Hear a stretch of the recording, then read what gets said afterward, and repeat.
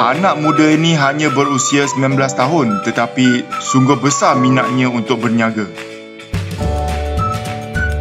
Muhammad Amiruddin bin Saiful Bahari menjalankan perniagaan minyak wangi dengan seorang penolong.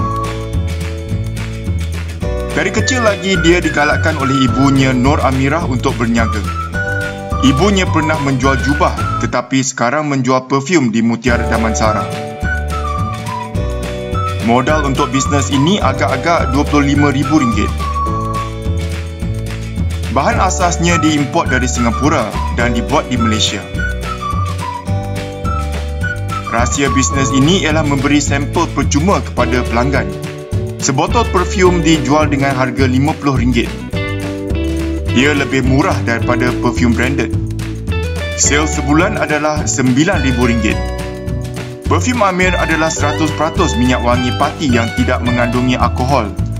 Kata Amir, ia lebih tahan daripada jenama terkenal. Sewa gerai adalah RM3,000 sebulan di Giant Hypermarket.